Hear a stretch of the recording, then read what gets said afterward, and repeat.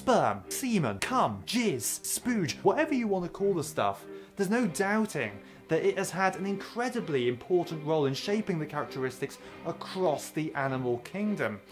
Now, you may just think of sperm as just some small tadpole-like cells whose only job is to swim towards an egg and fuse with it. Well, actually, on an evolutionary scale, its role is a lot more profound than that. Now, when you look across the tree of life, it's pretty clear that differences in genitalia aren't the only feature that enable us to distinguish between males and females. For example, red deer stags have antlers, male mandrills have beautiful facial coloration, and male elephant seals are just, well, enormous. Charles Darwin was very much aware of this, and in 1871 he published The Descent of Man, which outlined his theory of sexual selection, which states that traits which increase reproductive success are likely to increase in frequency in a population even if they are detrimental to survival. So by that logic, natural and sexual selection seem to be acting in opposition. Think of a peacock's tail, for example. That's great if you want to try and impress and attract a peahen. Not so great if you want to try and escape a hungry fox. So what we see in nature today is therefore the outcome of a balancing act between these two selective forces and that has resulted in some pretty wacky differences between the sexes. Now as a general rule it's usually the males which compete with one another to gain access to the females and that's why the males of many species have evolved large body sizes, weaponry such as antlers, and flashy courtship displays. But it may seem hard to grasp how those exaggerated traits evolved in the first place.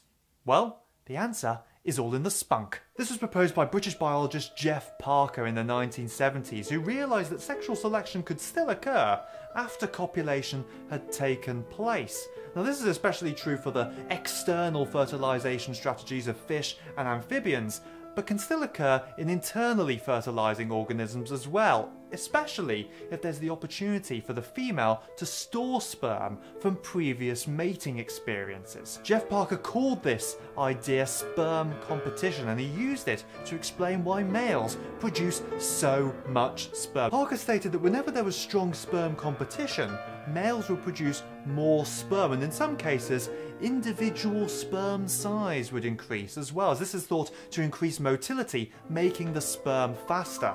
Having bigger sperm also fills up the female sperm storage organ, of course, which also further increases the chance of paternity. Now, this is obviously not what the female wants at all, and this has led to an evolutionary battle between the sexes, and the result are some pretty gruesome strategies on behalf of the males. For example, some males release toxins in their ejaculate, which kill off any rival sperm. But not only this, it's been shown that these toxins also reduce female survival as well.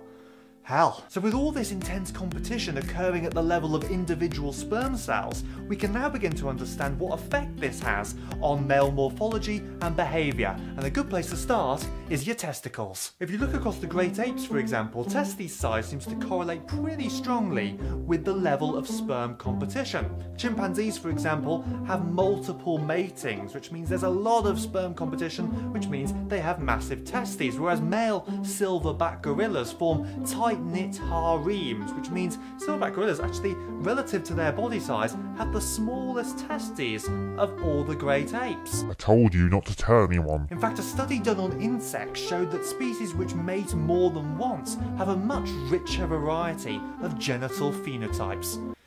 You've got to have some claim to fame, I suppose. We also see differences in male behaviour, from prolonged copulations to sneak matings to guarding behaviour to the use of chastity belts, and in the case of ducks, even full-on rape. This has got out of control. Now as you may imagine, this can have detrimental effects on the female, and as a result, they've evolved their own defensive adaptations to keep the arms race ticking. But there are some benefits as well. After all, mating with multiple desperate, sexually charged males increases the chances of them getting their genes into the next generation, which is ultimately what this is all for. And secondly, mating multiply increases their chances of their offspring getting better and more genetically diverse genes, which is likely to increase their survival. So basically, beneath the antlers, the flashy colours, and the cute displays, there's a whole other soap opera occurring in a completely different biological dimension. So next time you admire a red deer stag or the beautiful feathers of a peacock, just think that these traits have only come about because of a microscopic evolutionary battle occurring in the jizz. Thank you so much for watching this video. I hope you enjoyed it. If you did, don't forget to hit the subscribe button and hit the notification bell as well so you can stay updated with all my wildlife and science adventures. I'm also on social media, the links are in the description below this video. But in the meantime, thank you so much for watching and I'll see you very soon. Cheers! Let's get scratching.